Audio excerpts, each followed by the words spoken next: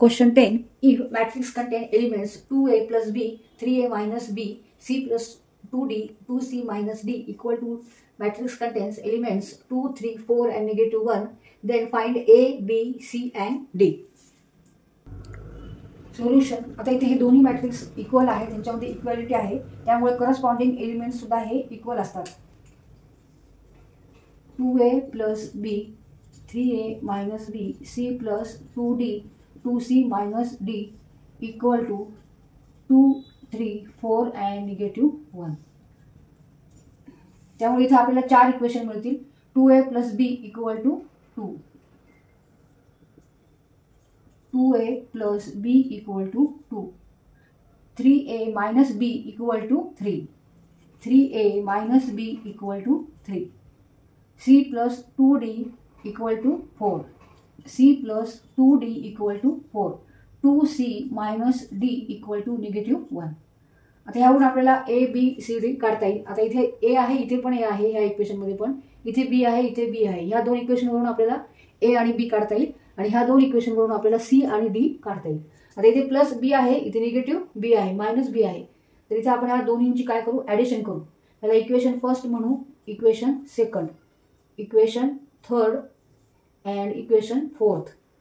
मग इथे ॲडिशन केल्यावर काय होणार आहे? बी आणि निगेटिव्ह बी झिरो येणार इथे. आणि two A plus five three A equal to five A equal to two plus three five five A equal to five therefore A equal to five divided by five equal to one A equal to one आता इथे एची आपण value काढली तर एची value आपण कोणत्याही एका इक्वेशनमध्ये फर्स्ट किंवा सेकंड इक्वेशनमध्ये आपण ठेवून बीची व्हॅल्यू काढू शकतो.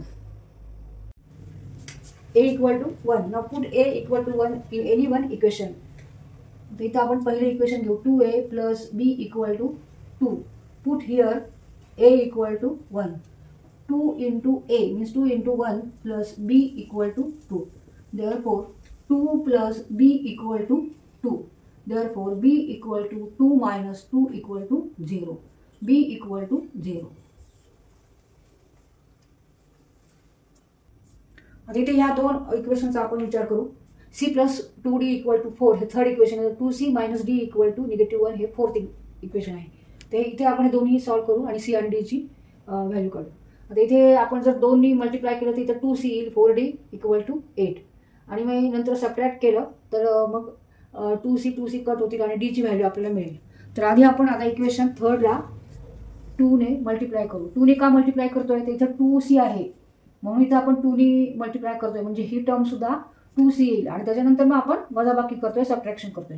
मग two in to third equation मग टूनी मल्टिप्लाय करू. Two bracket C plus two D equal to four means two C plus four D equal to eight two into four eight त्याला आपण फिफ्थ इक्वेशन धरू.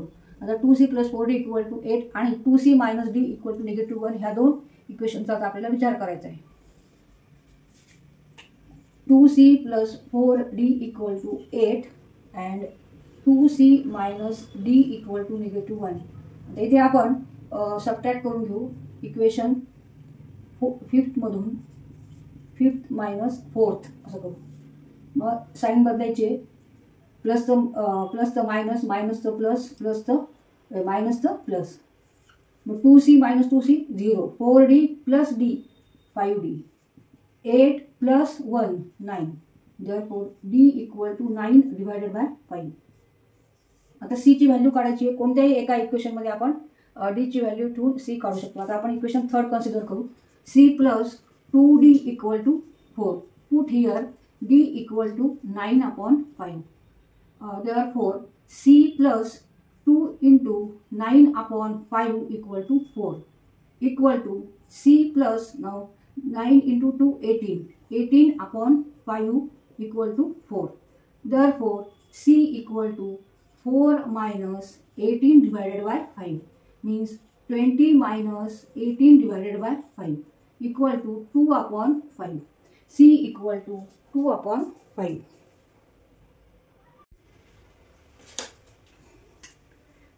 equal to two upon five इथे याप्रमाणे आपण equation घेऊन A B आणि C डीच्या value काढल्यात इथे आन्सर लिहिले आपण. फळा इथे जागा नाही फळ्यावर इथे आन्सर लिहिले. A equal to one B equal to zero C equal to two upon five and D equal to nine upon five